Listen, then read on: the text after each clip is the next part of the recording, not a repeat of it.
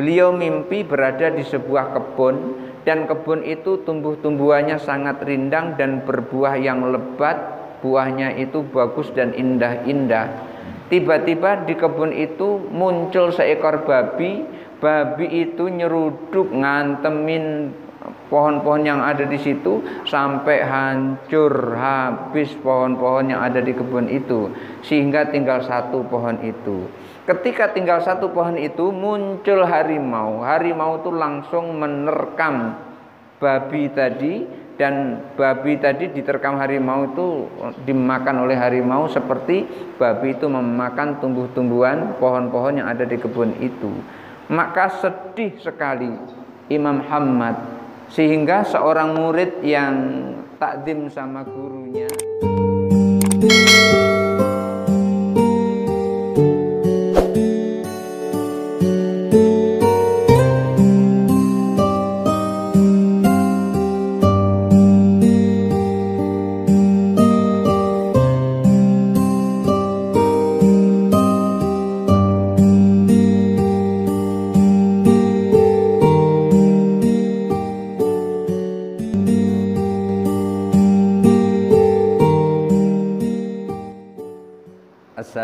Assalamualaikum warahmatullahi wabarakatuh.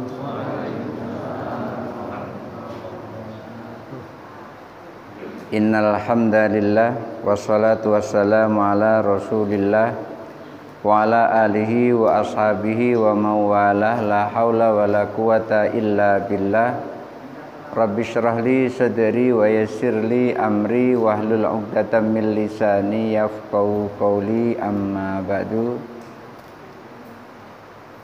Ayahanda Kiai Haji Lohot dan hadirin hadirat yang dimuliakan oleh Allah Subhanahu wa taala. Kita teruskan sama-sama kita mengaji menyerahkan diri kepada Allah Subhanahu wa taala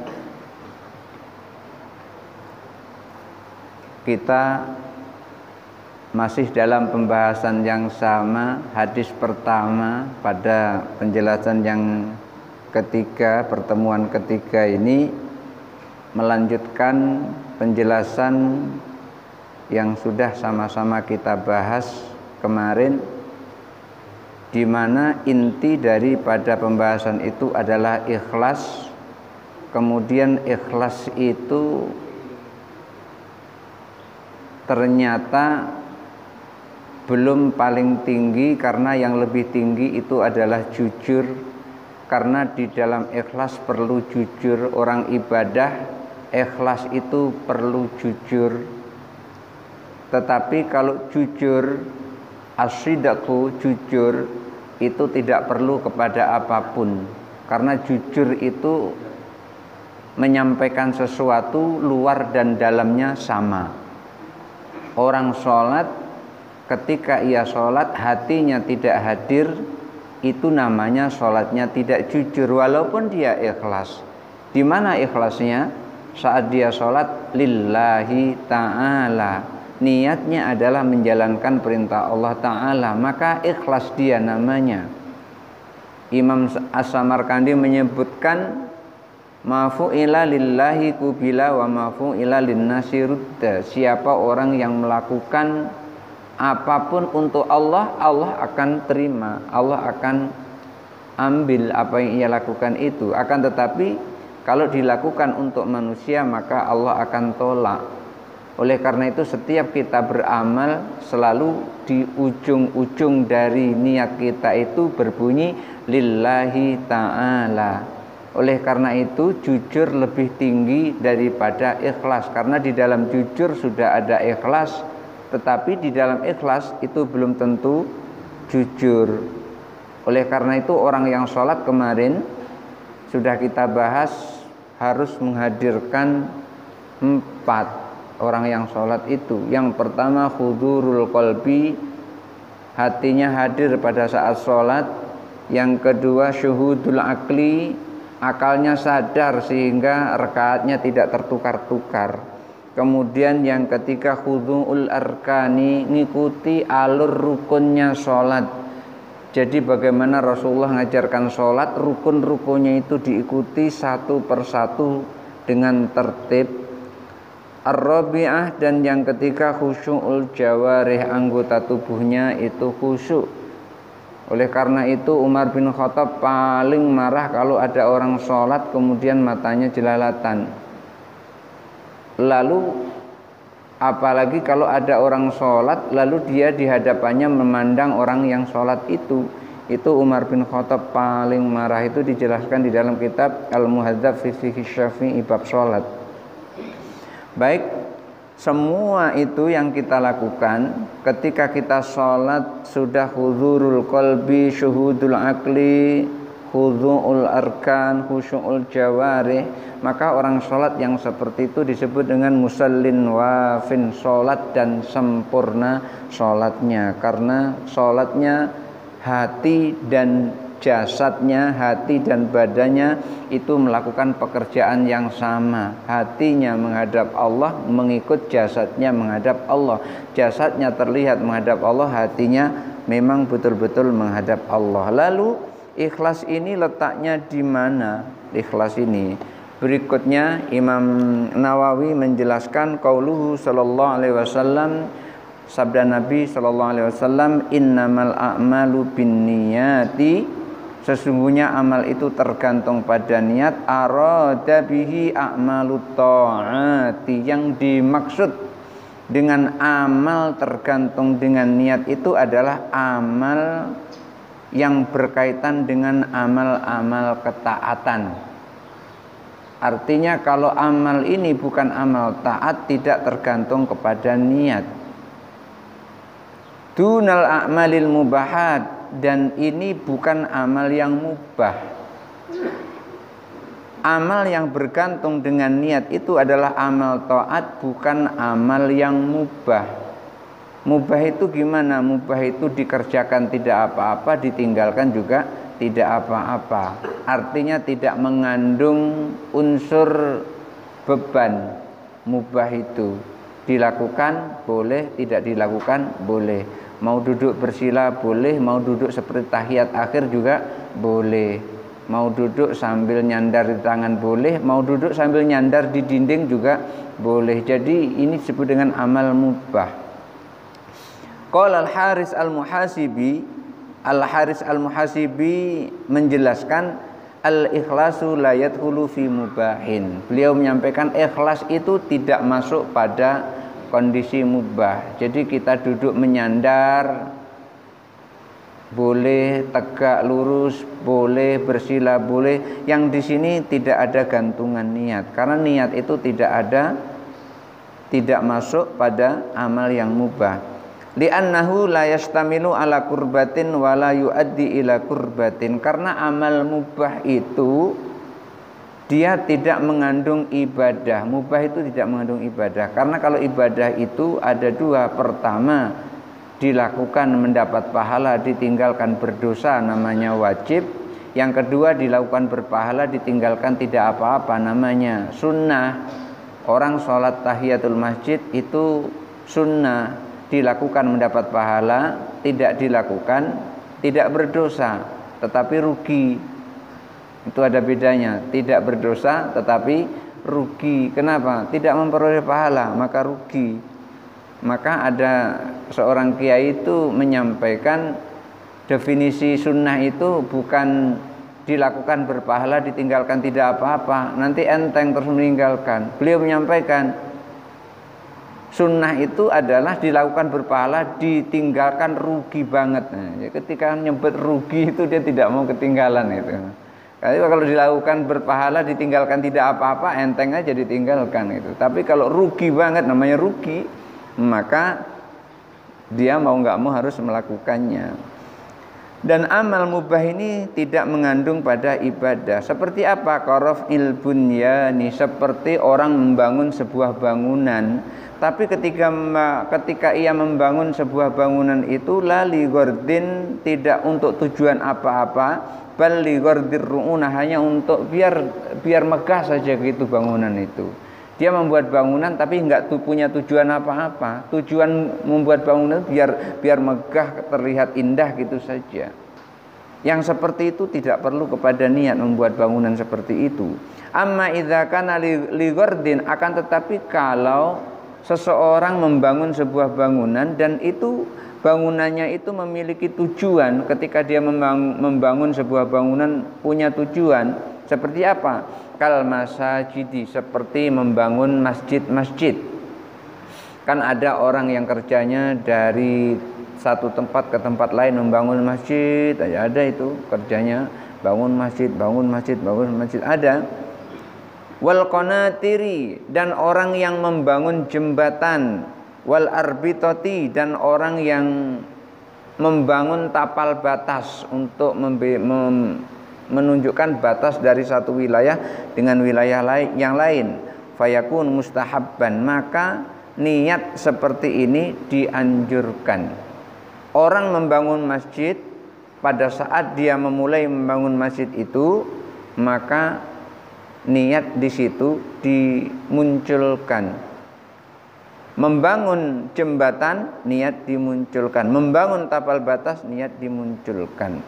Kenapa karena di situ ada nilai ibadahnya seseorang yang membangun masjid niatnya karena Allah Subhanahu wa taala, maka selama masjid itu dipakai untuk beribadah, selama itu pula orang yang membangun itu memperoleh pahala dari Allah Subhanahu wa taala. Qala Al-Haris Al-Muhasibi kemudian menjelaskan wala ikhlasu fi muharramin.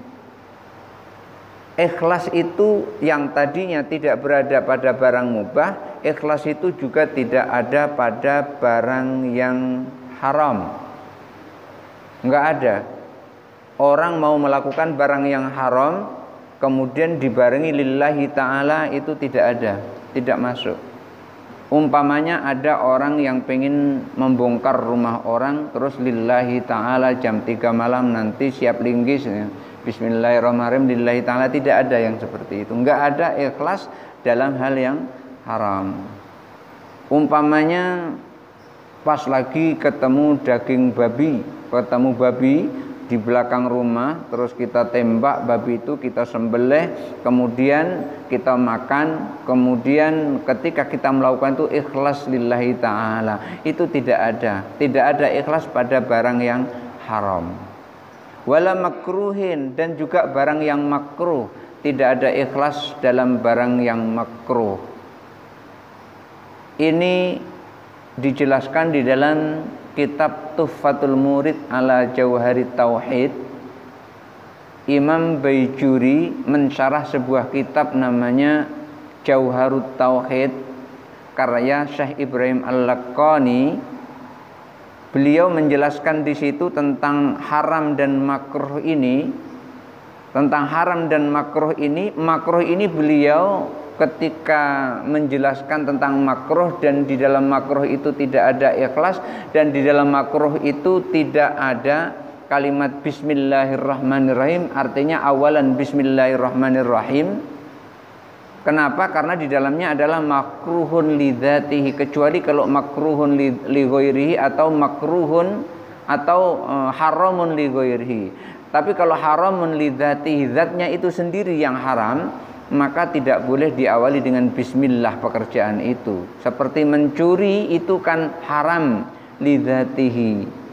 Akan tetapi ketika seseorang mencuri mengawali dengan bismillahirrahmanirrahim, maka membaca bismillahnya itu double menjadi dosa besar. Berzina umpamanya, berzina itu dosa besar. Walaupun ketika orang memahami tekstual tidak ada larangan zina. Yang ada itu larangan mendekati zina. Wala takrobuz zina. Kalau diartikan seperti itu berarti zina enggak enggak haram dong. Kenapa? Yang dilarang cuma mendekati. Itu kalau memahami tekstual. Tapi kalau orang memahami dengan ilmu usul fikih di dalam bab kias maka di sini masuk pada kias namanya kias aulawi mendekati saja nggak boleh apalagi berzina itu orang ketika memahami hanya mana hadisnya mana ayatnya sebut wala takrebu zina tidak boleh. Jangan kamu mendekati zina. Oh yang nggak boleh itu mendekati. Kalau berzina nggak apa-apa. Ini pemahaman yang salah. Karena memahami Al-Qur'an itu sudah diberi alat untuk memahami oleh Imam Asy-Syafi'i yaitu dengan usul fikih. Yang meletakkan dasar usul fikih pertama adalah Imam Syafi'i rahimahullah. Maka ketika ia membaca wala takrabuz zina, jangan kamu dekati zina. Oh, yang nggak boleh itu dekati rupanya. Tapi kalau berzina nggak apa-apa. Ini ini uh, pemahaman yang sangat salah karena dia memahaminya tidak menggunakan ilmu ulama. Nah, Imam Baijuri beliau menjelaskan di sini seperti apa tidak boleh yang makruh itu. Beliau menyampaikan kan nadri ila farji zaujati seperti melihat kepada aurat istrinya, kepada kemaluan istrinya. Ketika dia melihatnya seperti itu kemudian mengawali dengan bismillahirrahmanirrahim, maka tidak boleh mengawalinya dengan bismillahirrahmanirrahim, maka bismillahnya ikut makruh. Ikut makruh.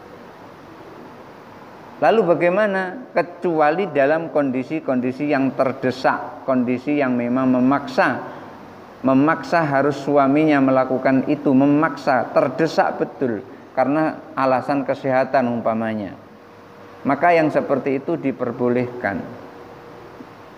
Tetapi istri, istri sendiri itu itu itu mak, itu pun makruh yang seperti itu. Hmm. Jadi beliau menyampaikan seperti itu. Beda dengan makruhun li ghairihi, artinya bukan zatnya yang makruh. Seperti apa? Seperti makan bawang. Keaklil basol, beliau menyampaikan itu. Kalau di Jambi mungkin dia mengatakan keakli pete mungkin gitu atau keakli jengkol karena dia beliau bukan orang Jambi dia tidak tahu pete tidak tahu jengkol jadi keakli basol seperti makan bawang makan bawang itu makruh tapi makruhnya itu adalah makruh ligoirihi makannya tidak makruh bawangnya yang makruh andai kan bawang itu baunya sudah hilang, nyengat baunya itu sudah hilang, maka bawang itu tidak menjadi makro. Karena kan makronya bawang itu kan lisyiddatirih karena baunya sangat menyengat. Makanya hukumnya menjadi makro. Sama dengan jengkol. Jengkol itu baunya menyengat.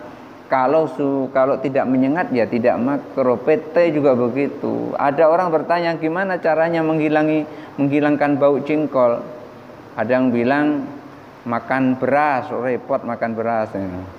Ada yang bilang untuk menghilangkan bau jengkol makan pete katanya. Loh, kan bau pete ya, tapi kan bau bau jengkolnya hilang. Bau jengkolnya hilang, bau petenya yang yang datang. Jadi yang menyebabkan makruh itu adalah lisyid rih karena sangat kuat dan menyengat serta mengganggu orang kanan kirinya yang menyebabkan yang dimakan itu adalah makruh. Yang seperti itu kita masih boleh mengawali makannya dengan bismillahirrahmanirrahim karena itu adalah makruhun li ghairihi bukan makruhun li dzatihi. Sementara Imam Nawawi ini Imam Nawawi ini beliau ini nggak sempat ini Bapak Ibu nggak sempat menikah karena sibuk dengan ilmu usia 46 tahun meninggal tuh nggak sempat menikah jadi pembahasannya belum sampai ke situ. Yang Imam Baijuri itu sudah sampai ke situ. Maka beliau menjelaskan di sini seperti apa ikhlas tidak ada pada barang haram ikhlas tidak ada barang yang makruh itu. Beliau menyampaikan kaman yang duru ila ma la nadru ilaihi. Seperti ia ingin memandang sesuatu yang tidak boleh untuk dipandang. Itu hukumnya bisa makruh hukumnya bisa haram. Ketika dia ingin memandang sesuatu yang tidak boleh dipandang sebenarnya itu wa yaz'umu annahu yang duru ilaihi dan ia berniat memandang dan memperhatikan sesuatu yang ia pandang tadi liyatafakkara fi sunillahi ta'ala. Niatnya adalah untuk memikirkan ciptaan Allah Subhanahu wa taala. Alasannya begitu ditengok diperhatikan itu untuk mem memikirkan ciptaan Allah. Umpamanya begitu niatnya seperti itu. Niatnya ingin memikirkan ciptaan Allah Subhanahu wa taala. Dan ini yang boleh dila yang bisa melakukan biasanya dokter ini karena untuk menolong orang jadi memperhatikan e, anatomi manusia untuk dipelajari. Yang kemudian ketika terjadi penyakit seperti ini berarti obatnya ini penyakit seperti ini obatnya ini. Ini yang boleh itu adalah dokter. Akan tetapi walaupun seperti itu niatnya kan nadri ilal amrad. Beliau menyampaikan seperti memandang kepada anak bujang yang yang masih imut-imut itu. Anak bujang anak anak kecil yang masih imut-imut yang masih yang enak-enaknya dipandang. Wahadalah ikhlas fihi yang seperti ini tidak ada ikhlas di dalamnya. Balla kurbatan albitatan. Bahkan tidak ada nilai ibadah sama sekali. Memperhatikan lekuk-lekuk tubuhnya itu umpamanya dibuka bajunya supaya kelihatan semuanya lekuk-lekuk tubuhnya itu tidak ada ikhlas di dalamnya dan bahkan tidak ada nilai ibadah sama sekali. Qala Al Haris Al Muhasibi menyampaikan fasidku fi wasfil abdi fasidku fi wasfil abdi fistiwa isri wal alaniyati wal zahiri wal batini orang ketika menilai seseorang dikatakan jujur, jujur itu adalah menilai seseorang itu sama. Saat rame-rame, saat sendirian sama. Saat menyampaikan lewat lesan dan yang terselip di dalam hatinya itu juga sama. Jadi orang jujur itu adalah orang yang luar dan dalamnya sama ketika dia menyampaikan sesuatu yang disampaikan sesuatu dari mulutnya itu itulah yang ada di dalam hatinya. Yang dia sampaikan di hadapan orang banyak itulah sama ketika dia menyampaikan di hadapan empat mata. Itu sama. Oleh karena itu beliau menyampaikan jujur itu adalah wasful abdi fistiwa isri wal alaniyati wal zahiri wal batini. Jujur itu sama saat rame-rame, saat sendirian, saat menyampaikan lewat lesan dan batinnya sama. Oleh karena itu wasidku yatahaqqaqu bitahaqquqi jami'il maqamati wal ahwali. Maka jujur itu perlu pembuktian antara luar dan dalam. Yang membuktikan siapa? Ya kita sendiri, orang lain tidak bisa membuktikan karena jujur itu kita yang tahu, orang lain tidak tahu. Kalau kita ini jujur atau tidak jujur, orang lain nggak tahu. Yang tahu hanya kita. Oleh karena itu hatta innal ikhlasa yaftakiru ila sidqi. Sehingga karena jujur itu adalah seperti itu tadi luar dan dalam sama, maka ikhlas itu perlu kepada jujur. Tadi sudah saya sampaikan, ikhlas itu perlu kepada jujur. Wasidku layaf takiru ila syai'in. Sementara itu jujur itu nggak perlu pada apa-apa. Karena jujur itu ya seperti itu, luar dan dalamnya sama. Kalau katakan misalnya sudah makan, sudah memang betul-betul sudah makan. Maka ketika betul-betul sudah makan dan ditawari makan dia mengatakan sudah makan, maka itu namanya jujur. Orang sholat, sholat itu kan sebetulnya definisi sholat itu kan menjalankan perintah Allah. Ketika dia sholat, badannya kelihatan sholat, hatinya juga sholat. Walaupun seandainya di situ tidak ada, tidak menyebut atau di situ tidak terucap di mulutnya lillahi ta'ala pada saat dia sholat itu akan tetapi niat dia itu adalah melakukan sholat itu menjalankan perintah Allah maka di situ luar dan dalamnya pasti sama karena inti dari sholat adalah menjalankan perintah Allah. Maka jujur itu tidak perlu kepada ikhlas tapi ikhlas perlu kepada jujur karena di dalam di dalam jujur itu sudah ada ikhlas di dalam jujur itu sudah ada di dalamnya ikhlas karena sholat itu adalah ikhlas menjalankan perintah Allah terus dilaksanakan dengan jujur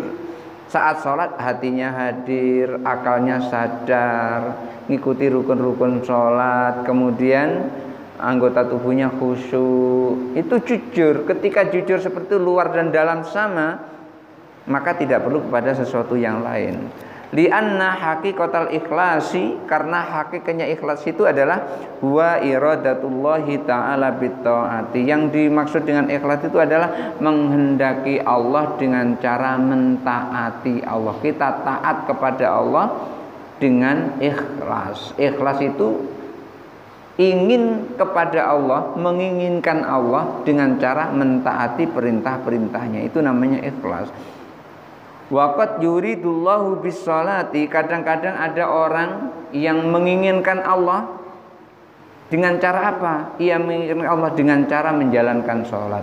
Dia rindu kepada Allah Kemudian ia terus tegakkan sholat. Walakinnahu ghafilun. Tapi pada saat dia sholat Ternyata dia lupa lalai dia saat sholat itu Lalai apa? An khuduril qalbi ilaihi. Lalai menghadirkan hati pada saat sholat. Ada kira-kira kayak gitu. Sholat terus hatinya kadang-kadang nggak hadir saat sholat. Lalai lupa gitu. Ada kadang-kadang seperti itu. Ada. Kadang-kadang lagi sholat hatinya pergi keluar nengok sendal sebentar. Atau nengok kunci kadang-kadang. Itu hatinya lalai kalau sedang sholat. Dia sholat tapi lalai menghadirkan hati.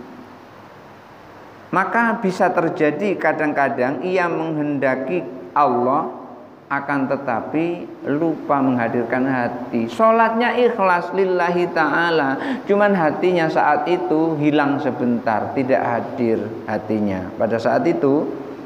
Wasidku wa iradatullahi bil ibadati ma'ahuduril qalbi ilai. Sementara itu jujur di dalam sholat itu itu adalah menghendaki Allah dengan cara beribadah dan ibadahnya itu sekalian menghadirkan hatinya. Itu jujur.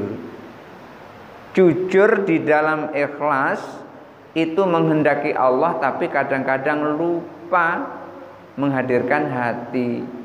Tapi jujur ini tadi ikhlas. Ikhlas menghendaki Allah tapi kadang-kadang lupa menghadirkan hati. Tapi jujur, jujur itu menghendaki Allah dengan cara beribadah kepada Allah beserta menghadirkan hatinya pada saat beribadah itu. Maka jujur itu lebih tinggi daripada ikhlas. Fakullu sadikin mukhlisun. Oleh karena itu setiap orang yang jujur itu pasti ikhlas. Falaisa kullu mukhlisin sadiqan dan belum tentu Orang yang ikhlas itu adalah jujur. Orang yang jujur pasti ikhlas, orang yang ikhlas belum tentu jujur. Bisa orang ikhlas itu jujur, bisa orang ikhlas itu tidak jujur. Kapan orang ikhlas itu jujur? Ketika dia beribadah menghadirkan hatinya. Kapan orang ikhlas itu tidak jujur? Ketika dia beribadah hatinya tidak hadir. Yang seperti ini, yang seperti ini ikhlas, kadang-kadang jujur, kadang-kadang tidak jujur. Akan tetapi Orang yang jujur itu pasti ikhlas karena di dalam dia menjalankan ibadah namanya jujur luar dan dalam sama. Oleh karena itu kullu shadiqin mukhlisun. Setiap orang yang jujur pasti ikhlas. Tetapi belum tentu orang yang ikhlas itu jujur. Bisa jujur, bisa enggak jujur. Inilah yang kemarin ditanyakan oleh jamaah di sini kemarin Wawa makna ittisal wal infisal. Inilah yang dimaksud dengan makna ittisal wal infisal. Makna sholat nyambung dan sholat terputus. Sholatnya nyambung, ibadah nyambung dan ibadahnya terputus. Ibadahnya nyambung kepada Allah atau ibadahnya terputus kepada Allah. Kenapa kok begitu? Li'annahu ingfasola anillahi. Karena dia putus dari mengingat Allah. Saat sholat dia tidak mengingat Allah karena hatinya tidak hadir. Watta sholat, lalu pada saat hatinya tidak hadir tadi, kemudian dia sadar akalnya sadar lalu menghadirkan hati. Wattasala bihuduri billahi. Lalu menghadirkan hatinya di hadapan Allah. Dan itu memang uh, sering terjadi pada kita. Lagi sholat itu kadang-kadang hati kita hilang. Kadang-kadang. Terus kita sadar lalu kita hadirkan. Hei rekan sholat jangan ke mana-mana kalau sedang kadang-kadang kita hadirkan seperti memang itu udah biasa yang seperti itu untuk orang-orang seperti kita ini. Kadang-kadang hatinya ke mana-kemana udah itu kita sadar kita tarik hatinya untuk ikut sholat bersama jasad kita. Oleh karena itu ini yang disebut makna itisal wal infisal. Li'annahu infasala anillahi wa tasala bil huduri billahi. Karena terpisah hati kita dari Allah kemudian hati kita nyambung saat kita menghadirkan hati saat kita sholat itu. Inilah yang disebut wawa makna takhalli amma siwallahi. Kemarin ada yang nanyakan takhalli, tahalli, tajalli, yang itu. Nah, ini jawabannya di sini. Dan ini yang dimaksud dengan makna takhalli amma siwallah, mengosongkan diri di dalam hati yang ada cuman Allah. Ini nama makna takhalli mengosongkan diri dari semua yang ada kecuali Allah. Yang ada di dalam hati juga Allah. Wa tahalli bil huduri baina yadaillahi subhanahu wa taala. Setelah kita tahalli mengosongkan diri, maka kemudian diisi hati ini dengan menghadirkan hati di hadapan Allah Subhanahu wa taala. Di dalam sholat tadi mengosongkan diri, kemudian setelah kosong dimasuki hati, hatinya diajak menghadap Allah Subhanahu wa taala. Ini disebut dengan kemarin tuh makna tahalli, tahalli, tajalli. Tahalli mengosongkan diri dari semua kecuali Allah kemudian tahalli mengisi apa yang diisi diisi dengan menghadirkan hati hati ini diajak menghadap Allah Subhanahu wa taala. Nah, ini penjelasan dari innamal a'malu binniyat. Itu belum pada kategori innamal a'malu itu sendiri. Maka kita lanjutkan ya. Ya, kita lanjutkan. Qauluhu sallallahu alaihi wasallam Rasulullah SAW bersabda innamal a'malu. Sesungguhnya amal itu yang dimaksud innamal a'malu itu adalah yahtamilu innama sihatul a'mali. Sesungguhnya sahnya amal. Maksud dari innamal a'malu itu adalah innama sihatul a'mali. Sesungguhnya sahnya amal. Au tashihul a'mali. Sesungguhnya benarnya amal au qabulul a'mali atau sesungguhnya benar uh, terditerimanya amal. Au kamalul a'mali atau sesungguhnya sempurnanya amal jadi yang dimaksud dengan innamal a'malu binniyah sesungguhnya amal itu tergantung pada niat itu maksudnya adalah sahnya amal, benarnya amal, diterimanya amal, sempurnanya amal itu tergantung pada niat. Niatnya benar, amalnya benar. Niatnya benar, niatnya benar, amalnya sah. Niatnya benar, amalnya diterima oleh Allah. Niatnya benar, amalnya sempurna dilakukan. Wahada wa bihada akhadal imam Abu Hanifah rahimahullahu taala dan inilah pengertian ini yang dipahami oleh Imam Abu Hanifah rahimahullah. Imam Abu Hanifah itu siapa? Imam Abu Hanifah itu adalah peletak madhab pertama yang disebut dengan Imam Hanafi, madhab Hanafi. Setelah Imam Hanafi muncul peletak madhab yang kedua yaitu Imam Maliki yaitu Imam Malik gurunya Imam Syafi'i. Setelah Imam Maliki maka muncul madhab namanya madhab Syafi'i. Yang dasar peletaknya adalah Imam Syafi'i Muhammad bin Idris Asy-Syafi'i. Kemudian setelah itu muridnya Imam Syafi'i namanya Imam Ahmad bin Hambal Imam Abu Hanifah ini memiliki seorang guru, gurunya bernama Imam Hamad. Imam Abu Hanifah memiliki kecerdasan yang luar biasa dan diberi oleh Allah kemampuan takwil mimpi. Karena pada saat itu gurunya bernama Imam Hamad itu diberi surat oleh khalifah untuk menan untuk menjawab tantangan ateis, tantangan orang kafir.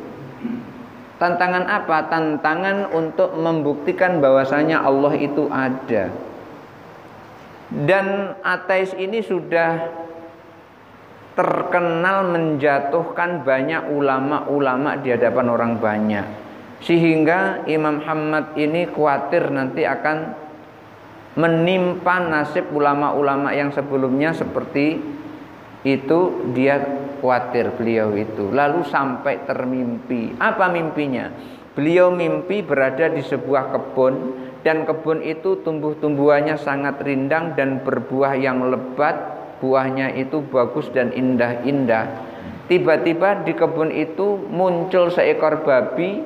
Babi itu nyeruduk ngantemin pohon-pohon yang ada di situ sampai hancur habis pohon-pohon yang ada di kebun itu sehingga tinggal satu pohon itu. Ketika tinggal satu pohon itu muncul harimau. Harimau itu langsung menerkam babi tadi dan babi tadi diterkam harimau itu dimakan oleh harimau seperti babi itu memakan tumbuh-tumbuhan pohon-pohon yang ada di kebun itu. Maka sedih sekali Imam Muhammad sehingga seorang murid yang takdim sama gurunya dia datang melihat gurunya sedih seperti itu kira-kira bahasa kita begini ada apa guru? Kok kelihatan sedih seperti itu? Lalu beliau menyampaikan Imam Muhammad menyampaikan kepada muridnya waktu itu Imam Hanafi masih muda masih belajar masih remaja Aku tadi malam bermimpi diceritakan mimpi itu tadi. Lalu Imam Hanafi yang masih muridnya Imam Muhammad tadi menyampaikan guru, bolehkah aku mentakwil mimpi guru? Karena Allah memberikanku ilmu takwil. Begitu disampaikan oleh Imam Hanafi kepada gurunya Imam Muhammad. Lalu Imam Muhammad seorang guru yang bijaksana langsung sampaikan memang dalam kondisi sedih. Kalau begitu sampaikan apa takwil mimpi gurumu ini. Lalu disampaikan guru kebun yang penuh dengan buah-buahan yang kebun yang penuh dengan tumbuh-tumbuhan ini adalah alam dunia ini. Kemudian pohon-pohon yang indah yang tegak kokoh di kebun-kebun itu itu adalah para ulama. Kemudian babi yang merusak kebun-kebun itu itu adalah si ateis orang kafir yang menyerang para ulama-ulama itu. Lalu tinggal satu pohon itu itu adalah guru sendiri. Beliau sampaikan gitu. Jadi Imam Muhammad itu tinggal satu-satunya guru sendiri. Lalu beliau sampaikan, lalu harimau, harimau itu aku guru. Langsung menyampaikan begitu, harimau itu aku. Kalau begitu, guru aku berada di sebelah guru akan menghadiri undangan khalifah untuk menjawab tantangan dari ateis. Sampai di situ ateis itu sudah masuk di atas podium. Begitu masuk di atas podium, dia sampaikan, tunjukkan kepadaku kalau Allah itu ada. Sampai begitu, tunjukkan kepadaku kalau Allah itu ada. Yang lain diam, Imam Hanafi izin dengan gurunya, langsung menyampaikan guru minta izin, aku mau menjawab omongan orang ateis itu. Ya, jawab langsung tegak, langsung dijawab. Buktinya ada pada dirimu. Langsung begitu disampaikan oleh Imam Hanafi. Buktinya Allah itu ada, itu ada pada dirimu. Loh, kok bisa ada pada diriku? Iya. Lalu Imam Hanafi bertanya, aku bertanya kepadamu, adakah kamu punya nyawa? Ya ada, tidak mungkin aku nggak punya nyawa. Kalau aku nggak punya nyawa, aku nggak bisa tegak di sini. Sekarang tunjukkan di mana nyawamu. Dijawab begitu oleh Imam Hanafi. Ya nyawaku nggak bisa dilihat karena itu memang barang yang nggak bisa dilihat. Kelabakan dia menjawab, lalu dijawab oleh Imam Hanafi. Begitulah Allah. Allah itu ada, tapi nggak bisa dilihat. Seperti nyawamu ada, maka kamu pun juga nggak bisa melihat nyawamu. Lalu Imam Hanafi ditanya lagi oleh si ateis tadi, terus dijawab, apa pantas orang yang suka bertanya duduk di atas podium? Bukankah yang harus menjawab itu adalah orang yang berada di atas podium? Akhirnya turun dari podium Imam Hanafi naik ke dalam podium. Runtuhlah keangkuhan ateis yang banyak menjatuhkan para ulama itu yang tadinya hanya dilihat dengan jubahnya saja Imam Hanafi mengatakan ilmu itu tidak berada di jubah tetapi ilmu itu adalah berada di karunia Allah Subhanahu wa taala siapa orang yang dikendaki oleh Allah maka Allah akan karuniai ia dengan ilmu inilah Imam Abu Hanifah yang pendiri madhab pertama madhab Hanafi sebelum madhab Maliki, madhab Syafi'i dan madhab Imam Ahmad bin Hambal. Barangkali itu saja dulu yang bisa saya sampaikan kali ini. Mudah-mudahan ada manfaatnya dan kalau ada yang mau bertanya dipersilahkan.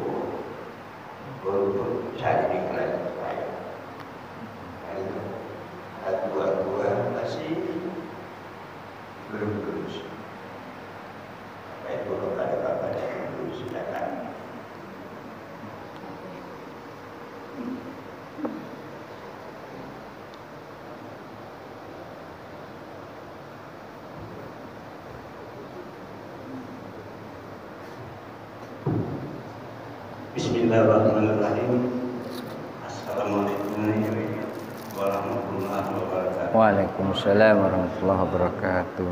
Saya tertarik dengan kata-kata orang tua kita,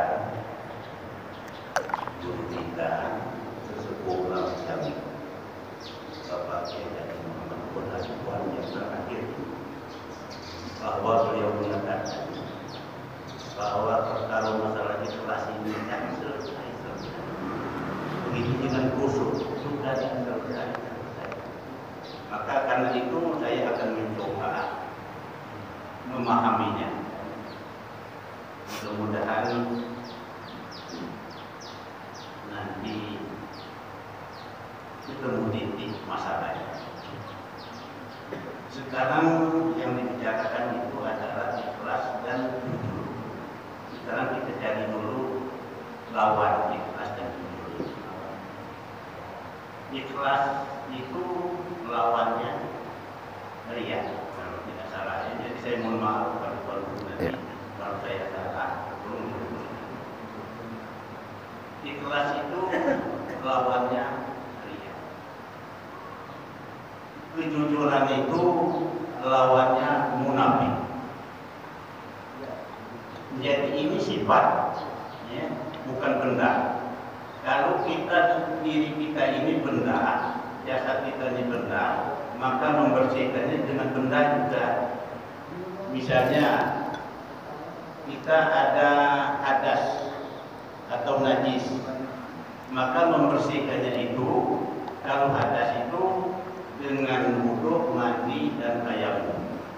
Kalau kita najis, maka air bersama tangan. Nah, tapi ini ikhlas, Ya. ikhlas dan kejujuran itu bukan benda, dia sifat, sifat. Begitu juga sifat yang baik dan sifat yang buruk melekat pada sesuatu zat diri. Nah, itu yang perlu kita pahami dan mohon maaf buat saya bukan pernah menghubungi atau merasa lebih kita lain tidak tapi kita mencari solusi daripada kata betul tidak selesai selesai kemudian hati. Hati ini kan suatu wadah. Allah mengatakan hati seorang mukmin itu adalah rumahmu. Allah yang mengatakan seperti itu. Jadi rumah itu hati kita itu ditempati oleh salah satu daripada sifat. Sifat ikhlas berkawan dengan sifat kejujuran itulah isinya hati orang mukmin itu. Hati yang diisi dengan uh, munafik dan ria itu itulah yang diisi oleh kebanyakan manusia. Makanya Allah berfirman, Wahai Musa, selagi engkau berada dalam wujud keinsanan, maka aku tiada aku. Dan manakala engkau dapat di aku, sesungguhnya engkau tiada pada diri. Nah ini kuncinya di sini kan. Jadi masalahnya kan, ini pertempuran, pertempuran. Kita lihat, kalau dosen PKI yang menduduki istana itu, maka presidennya terkombinasi dengan Pak PKI. Maka jenderal-jenderal itu dibunuh oleh PKI. Nah begini juga, ya, kalau munafik itu atau tidak kejujuran itu atau eh, ria itu menempati wadah dalam hati, maka selama itu manusia itu akan menjadi manusia jahat. Nah karena itu di dalam pertempuran ini secara teknisnya, nah ini yang perlu disampaikan kepada jemaah supaya ada perubahan, supaya tidak istilahnya ini terus yang kita. Nah, bagaimana kita istilahnya bertempur istilahnya ikhlas dan kejujuran itu langsung menempati hati itu, langsung ditempati, ditunggu supaya ria dan munafik ini tidak masuk lagi. Nah itu sasarannya di situ. Jadi teknisnya kita isinya bertempur melawan supaya mengusir uh, kemunafikan dan uh, itu itulah yang diharapkan oleh apa namanya jemaah teknisnya itu apa pertempuran itu mungkin itu yang saya sampaikan terima kasih wassalamualaikum warahmatullahi wabarakatuh Waalaikumsalam warahmatullahi wabarakatuh Ini Bapak. Bapak ya. Apa? Satu orang dulu ini. Mik di luar. Ya.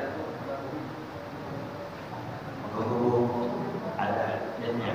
Assalamualaikum warahmatullahi wabarakatuh. Waalaikumsalam warahmatullahi wabarakatuh. Tadi ada beberapa saran yang kami akan karena akibat dari memakan tadi. Jadi perlu dengan Nah yang saya tanyakan bagaimana yang sekarang kita tahu kalau pemakan berat itu mungkin ada alat yang bisa menyelesaikan tempatnya. Jadi kita menunjukkan yang lain.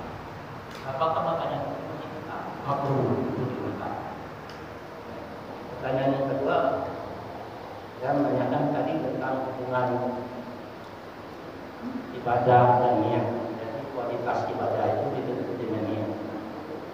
Tapi bagaimana seorang berniat sebenarnya untuk melakukan suatu kebaikan. Karena terpaksa. Misalnya contoh begini, seorang punya uang, uang itu hilang, sudah hilang dicari-cari tidak ketemu, hasilnya dia dia harus jalan bukan rezeki aku. Aku jelaskan saja, kalau orang mendapatnya, aku anggap itu. Sedekah. Nah, bagaimana niat? Itu bisa. Menjadi catatan amal? Dan niat yang sifatnya sudah terpaksa, sudah terjadi sesuatu yang tidak bisa diangkat, maka dia berniat baik. Sekian, Assalamualaikum warahmatullahi wabarakatuh. Waalaikumsalam warahmatullahi wabarakatuh Ya. Saya sini.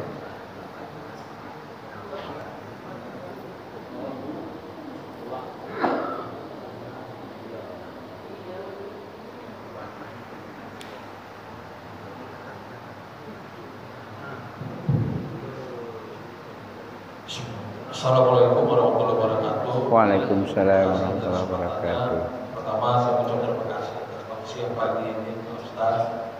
Eh, terkait dengan niat seperti disampaikan tadi bahwa amal itu tergantung dari niatnya.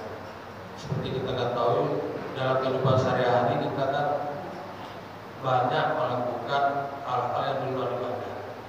Mungkin kita ibadah, tapi mungkin kita ada bekerja, mungkin ada belajar, berolahraga. Nah, yang mau saya tanya sini, bagaimana kita untuk berniat agar yang kita kerjakan ini bisa menjadi amal. Karena mungkin lebih dari 80% kegiatan kita sehari-hari itu bukan ibadah. Nah, bagaimana bisa menjadi amal dan menjadi ibadah? Itu pertanyaan saya pertama.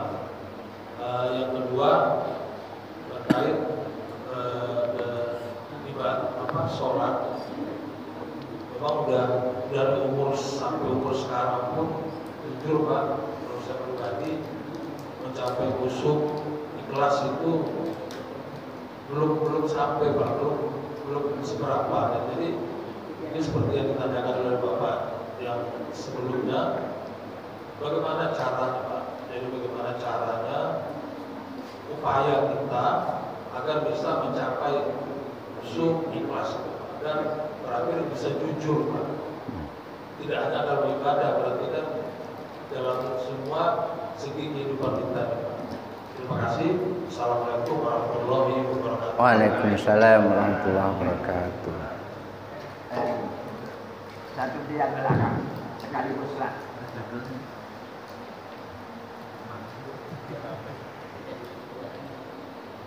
Mohon maaf, Ustaz.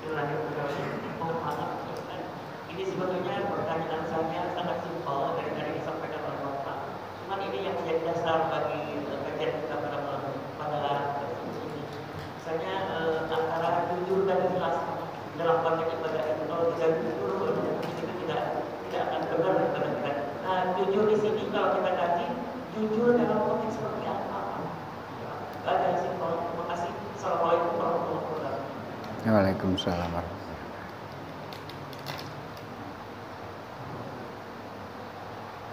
dari dari asli yang pertama.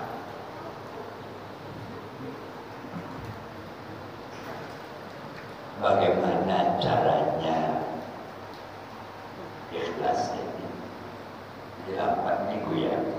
Empat minggu. Jadi ini kita belajar dari hadis pertama yang menjadi dasar hukum yang pertama dalam Islam adalah niat. Maka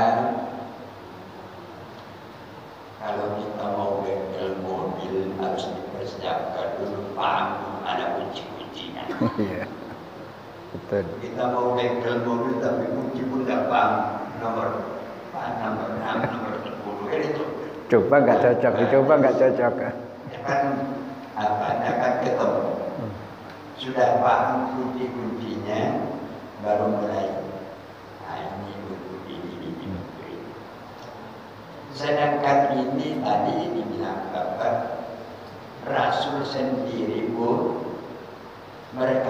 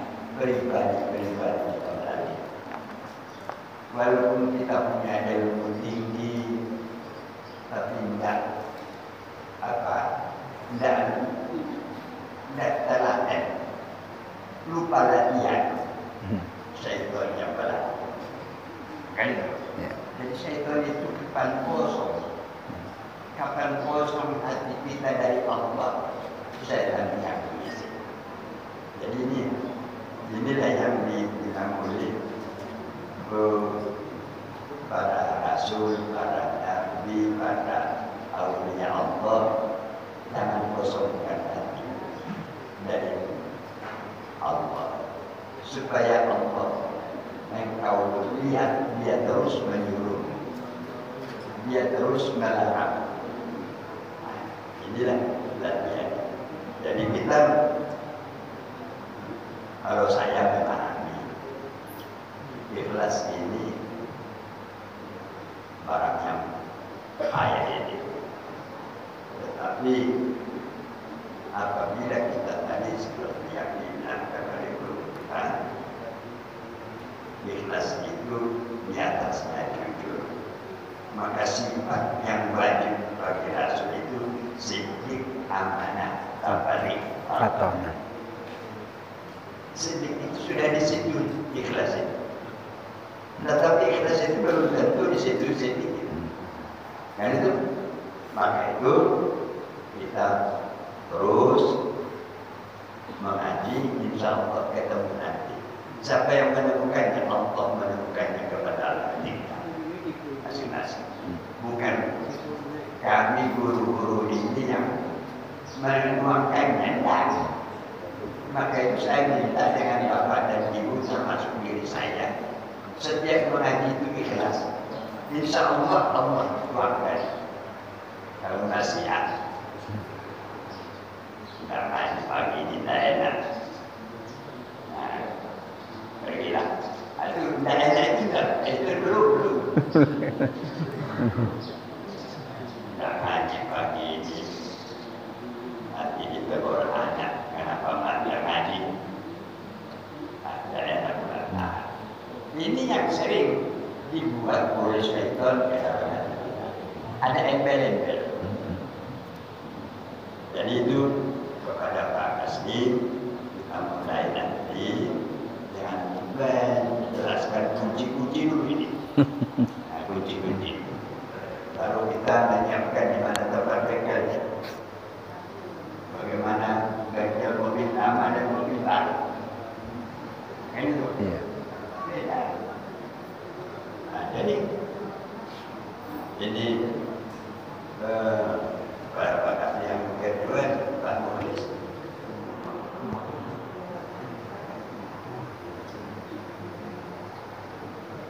supaya tidak makruh hilangkan baunya.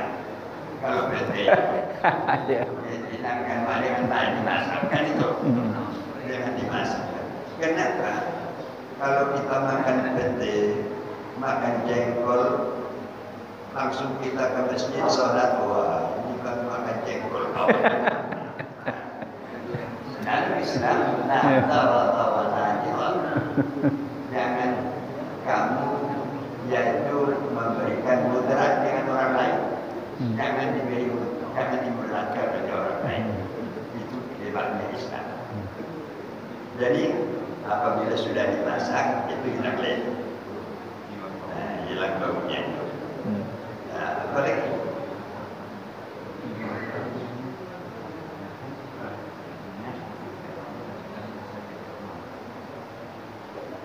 kalau kita bilang innamal a'malu binniyat seluruh amal al amal yaitu dari se- setiap amal kalau tidak punya niat eh, tidak punya niat beramal itu tidak dapat apa-apa kalau saya bilang kemarin itu mencium bini mencium bini itu halal itu yang tidak boleh mencium bini orang kalau mencium bini kita halal disuruh tapi tidak punya niat apa bismillah udah kita pakai Bismillah mencium bini ya. Kalau makan pakai Bismillah. Tapi kalau mencium bini jarang pakai Bismillah. Padahal itu disunahkan itu setiap yang membuat yang halal pakai Bismillah. Bismillah, ya. Yang tidak boleh tadi kata guru kita makan babi pakai Bismillah itu tidak boleh. Yang haram. Nah, kan maning membuka orang dengan Bismillah, Bismillahirrahmanirrahim. Maning tak boleh. Jadi setiap yang halal itu boleh. Nah, jadi eh, kalau tidak ada niatnya, walaupun eh, yang halal itu tidak dapat apa-apa. Jadi, tapi kalau kita mencium bini kita pakai Bismillah dan supaya membina kasih sayang dalam keluarga kita itu ibadah itu Iya. ibadah. Iya. Ibadah. Saya membina kasih sayang dengan kau di dalam hatiku karena Allah tidak berpura-pura. Nah kan itu. Kadang-kadang di dalam rumah tangga kan tidak berpura-pura juga. Mengejut ini, alangkah baiknya dalam bulan ini. Rupanya akhir bulan dia minta di awal bulan minta supaya kita digalang gaji bulan ini juga digalang. Uh, itu rupanya. Mengejut tiga kali bikin kopi sehari. Selamanya sekali. Nah. Jadi ikhlas itu adalah niat dalamnya eh, niat di dalamnya niat ini ada punya nilai karena lillahi ta'ala. Karena Allah. Nah, apa lagi?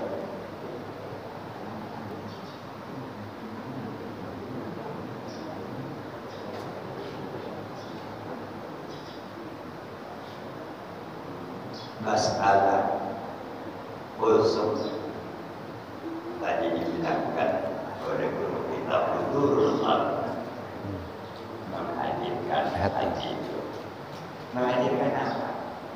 Inna salati di zikri sesungguhnya salat itu adalah mengingat kata Allah jadi kalau sudah lebih banyak mengingat Allah di waktu salat kita itu adalah mulai agak enak salat Iya. tapi kalau salat kita berangan-angan mulai dari Allahu Akbar kabira walhamdulillahi katsira berangan-angan terus. Hari ini apa loka nah kan mulai baca loka nah, itu ini namanya eh, satu Hmm. salat yang lain jadi bagaimana caranya? Supaya nah, kita bongkar dulu sholat maka itu malam malam ahad kita masalah ini dari guru kita Abdul Latif Nah, itu supaya kita mujahadah bersungguh-sungguh melaksanakan sholat mujahadah itu kalau bersungguh-sungguh itu adalah menjaga untuk menuju khusyuk. Tapi jangan macam orang Batak, sholat terus. Habis sholat berdoa. Kalau kita doanya Allah taqabbal minna salatana wa qiyamana wa qiraatana. Kalau orang Batak, enggak. Apalagi dia supir. Ya Allah, aku sudah kerjakan sholat yang engkau suruh itu. Kau terima dan tidak kau terima itulah contoh barangnya. Nah itu, tapi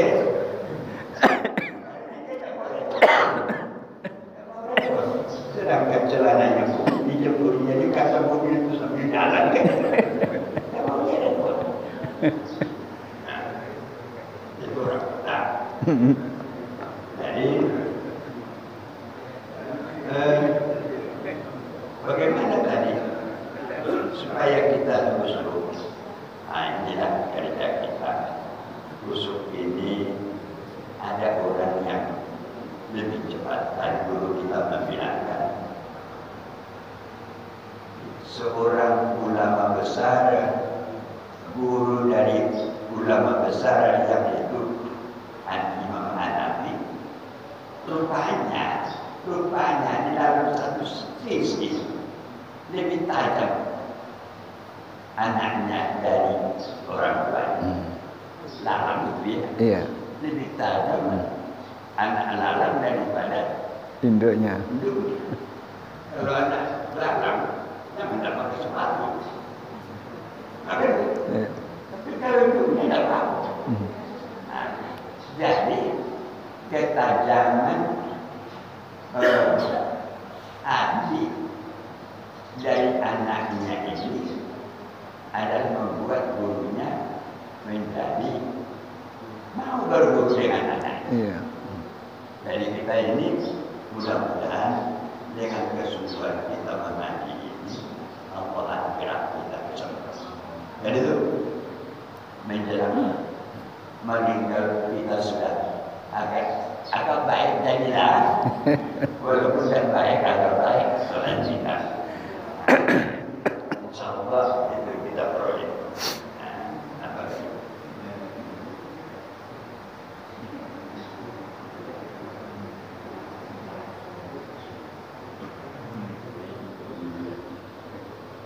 Sifat jujur yang kita lakukan dalam sholat Tadi sudah dibilangkan oleh guru kita.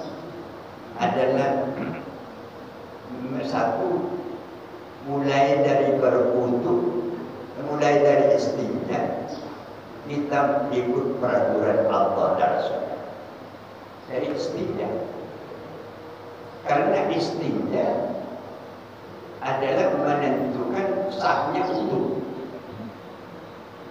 Sahnya wudu adalah menentukan sahnya salat. Karena syarat sah salat termasuk bersih dari hadas kecil dan hadas Iya. besar. Nah, jujur kita. Nah, di dalam salat juga kita jujur. Kalau umpamanya disuruh Allah kita sholat, suruh Nabi kita sholat pada awal waktu, kita usahakan awal waktu. Itu jujur itu. Kalau hmm, sebentar lagi lah, sebentar lagi lah, sebentar lagi lah, sampai setengah enam barusan takbir subuh. Jujur itu. Nah, karena dalam satu sisi hadis Nabi Abdul salat di waktunya Seabdul Abdul salat pada waktunya Tapi ada hadis Nabi lagi. Abdul salat di awal waktunya.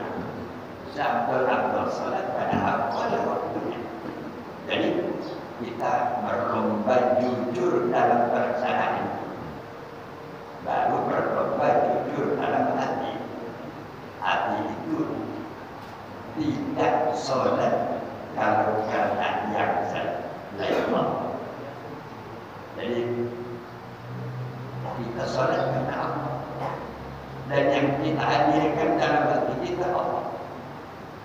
Nah, jadi kita ini saya bilang kemarin lebih khusyuk berdoa daripada sholat.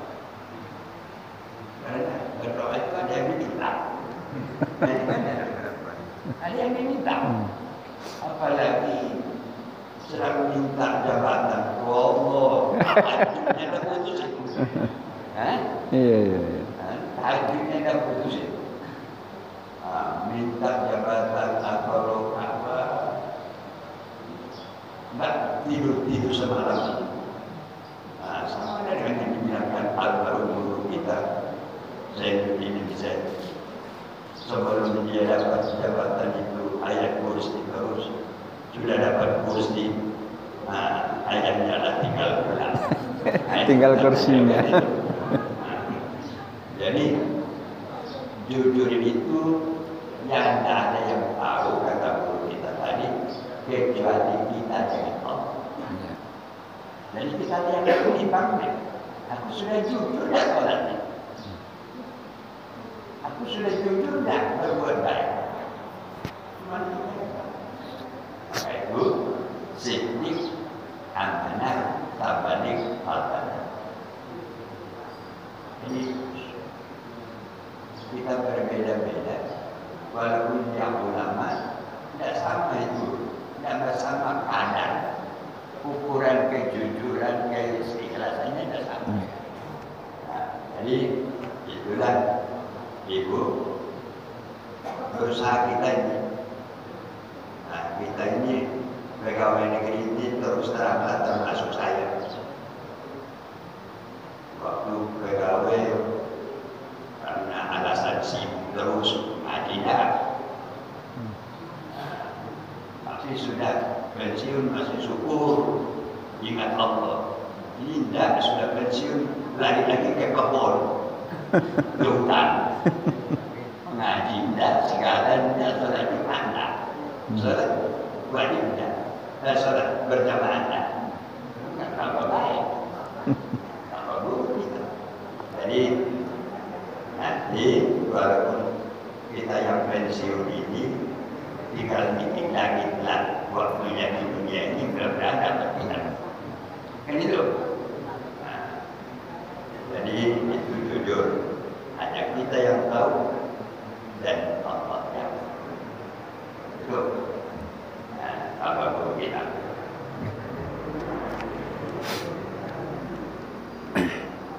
Baik, terima kasih Ayahanda Kiai Haji Lohot.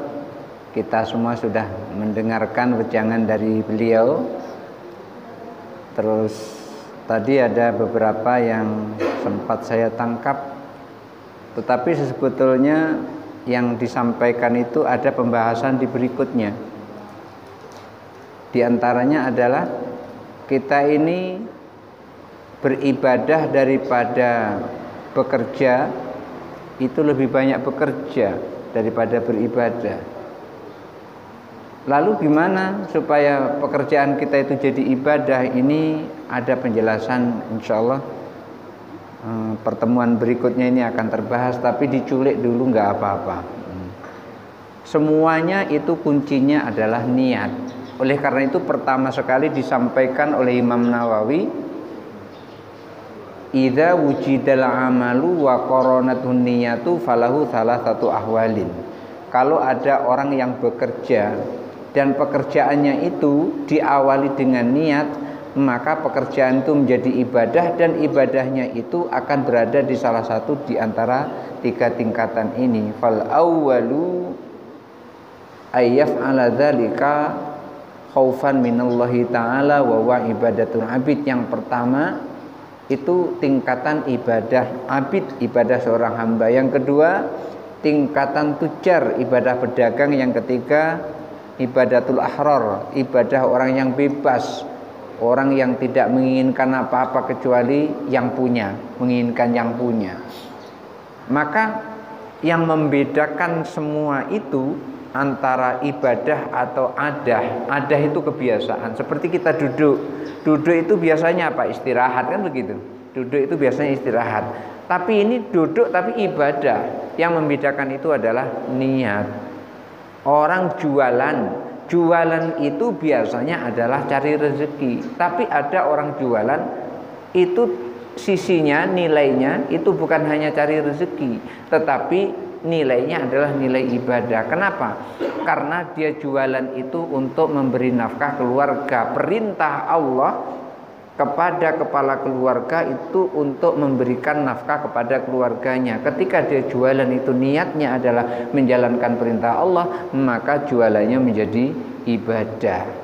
Tetapi kalau niatnya itu mencari keuntungan dari jualan, itu tidak ada nilai ibadah. Satu contoh lagi, di sini dijelaskan ketika man at'ama dabbatahu siapa orang yang memberikan makan kepada ternaknya umpamanya kita punya kambing kemudian tiap hari kita cari rumput untuk memberikan makan kepada kambing itu Tujuannya apa? Tujuannya supaya kambing itu gemuk nanti pas Idul Adha bisa dijual harganya mahal. Yang seperti itu nggak dapat ibadah apa-apa.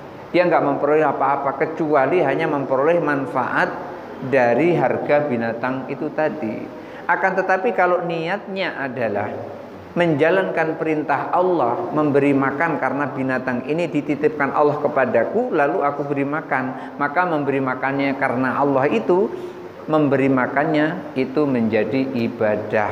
Plus keuntungannya adalah kalau nanti gemuk nanti akan memperoleh bonus dengan harga yang tinggi. Jadi intinya adalah niat. Oleh karena itu dulu pernah Umar bin Khattab melarang kepada anaknya namanya Ibnu Umar karena Ibnu Umar itu punya ternak sapi, kemudian sapinya gemuk-gemuk lalu dilarang oleh ayahnya karena ayahnya sebagai khalifah supaya tidak menunjukkan kekhalifahannya, tidak menunjukkan kekuasaan khalifahnya, mentang-mentang anak khalifah, kemudian sapinya gemuk-gemuk, maka tidak mau Umar bin Khattab seperti itu. Kalau memang sukses cukuplah Umar bin Khattab yang sukses.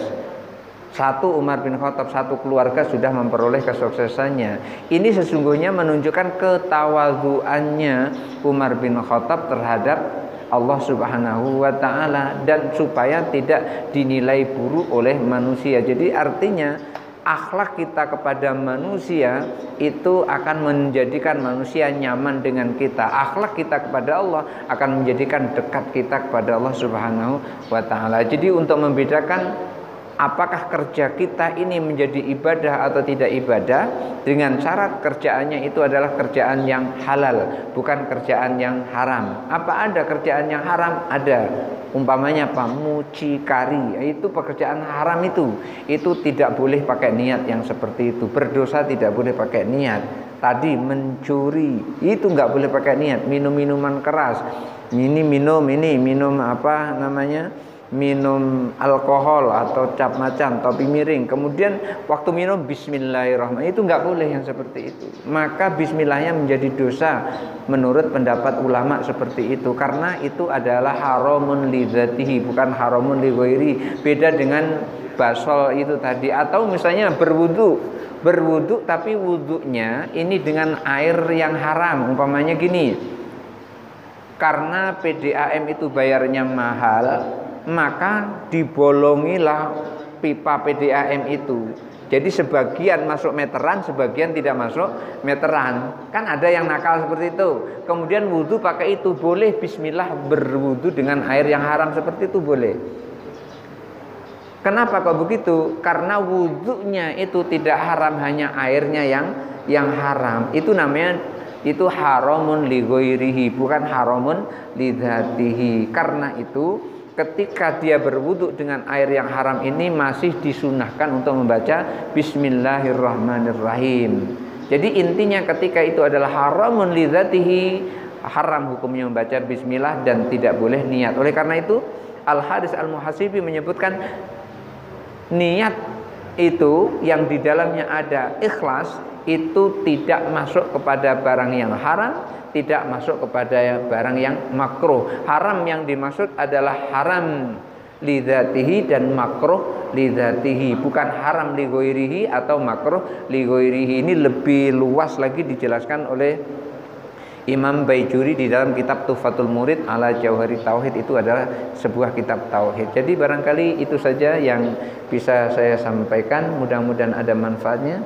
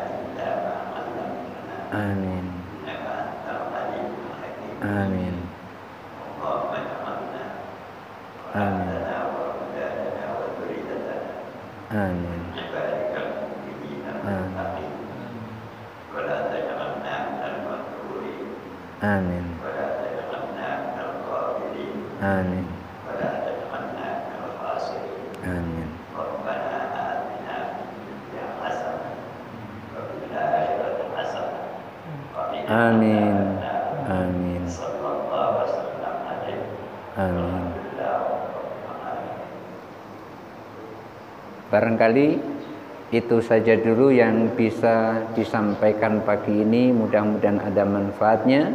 Hadanallahu wa iyyakum ajma'in wallahu muwaffiq ila. Wassalamualaikum warahmatullahi wabarakatuh.